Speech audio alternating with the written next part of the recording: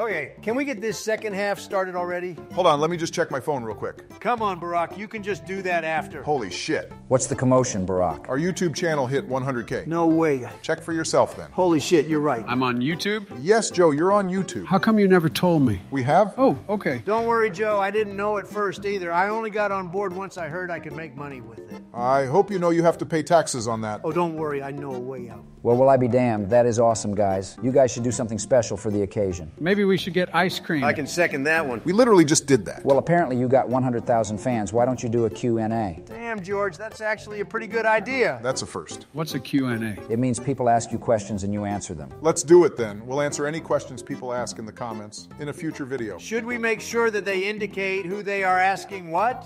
So I get all the questions to myself, of course? Sure, but they should also be able to ask questions to all of us. Does that include me too? Yes, and Michelle. Oh, God. All right, well, this sounds like a solid plan. Bring on the questions.